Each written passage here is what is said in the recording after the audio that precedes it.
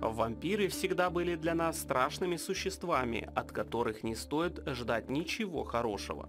И хотя зачастую вампиры являются героями различных сказок и мистических историй, они существуют в действительности, и встретиться с ними может каждый из нас.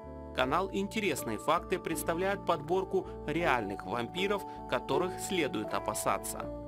Миноги в мире насчитывается около 40 видов миног, большая часть из которых не представляют абсолютно никакой опасности. Но некоторые, вырастая, превращаются в настоящих монстров, питающихся чужой кровью. Присасываясь к рыбе ртом, как присоской, своим языком минога отслаивает чешуйки и постепенно добирается до внутренних органов. Благодаря жестким зубам вампир крепно фиксируется на теле жертвы и с помощью специальных желез миноги создается непрерывная подача крови. Зяблик-вампир. Свое прозвище эта остроклювая птичка получила за свою кровожадную натуру и отвратительные пищевые привычки. Эта птичка, обитающая на островах Дарвина, питается кровью своих пернатых собратьев. Зачастую в качестве жертвы выступают голубоногие зяблики, которым зяблик-вампир своим острым клювом прокалывает кожу, после чего пьет кровь, пока не насытится. Улитка-торпеда. Несмотря на свою медлительность, эта улитка без труда находит себе жертву. В арсенале улитки имеется настоящий электрошокер – которым она с легкостью оглушает жертву на приличное количество времени. Жертва приходит в себя уже в тот момент, когда улитка-торпеда делает свое кровавое дело. Вампир-моль Эту моль интересуют не только шерстяные вещи в вашем шкафу, но и вы сами. Благодаря тонкому острому хоботку вампир-моль может без труда проникнуть под кожу любого млекопитающего, а благодаря жалу с несколькими зазубренными бороздками скинуть эту моль с себя не так-то и просто.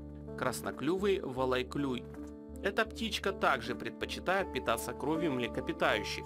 Для этого она выбирает крупных животных с открытыми или свежими ранами, из которых добывает свою пищу. Летучая мышь-вампир. Согласно легенде, каждый уважающий себя вампир способен превратиться в летучую мышь. Эта легенда основана на реально существующих тварях, которых можно встретить в Центральной и Южной Африке. Благодаря слюне со специальными химическими соединениями, эти мыши-вампиры мешают свертываться крови своей жертвы. Порой жертва даже не осознает, что является обедом для кровожадной летучей мыши. Обычная ванделия, она же кандиру.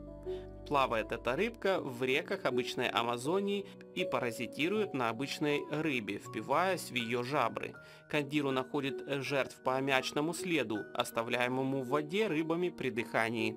Туземцы не рекомендуют ходить по малому в местных водах. Рыбка может незаметно забраться даже в пенис, после чего его владельцу придется прибегнуть к отпускной медицинской страховке. Иксодовые клещи. Прогулки на природе в теплое время года, конечно, прекрасны, но иногда еще и чреваты. Поэтому, когда вы под восхищенные возгласы спутницы будете снимать в парке с дерева сопротивляющуюся белку, помните, что представители семейства иксодовых клещей готовы наброситься на разные укромные места вашего тела в любую секунду. Поцелуйные клопы Этмологи дали этим клопам такое романтическое имя из-за их пристрастия присасываться к лицу человека. Этот любитель поцелуев распространен в странах Латинской Америки и является переносчиком болезни Шагаса, приводящей к воспалению лимфоузлов и сердечной недостаточности.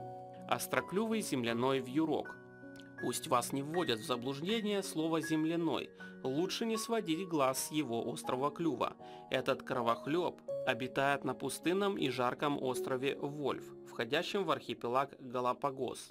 Ученые-орнитологи уверяют, что данный живой представитель Angry Birds изначально питался паразитами, поселяющимися в оперении и на коже других птиц, но потом догадался, что гораздо легче и приятнее пить из целой большой птицы.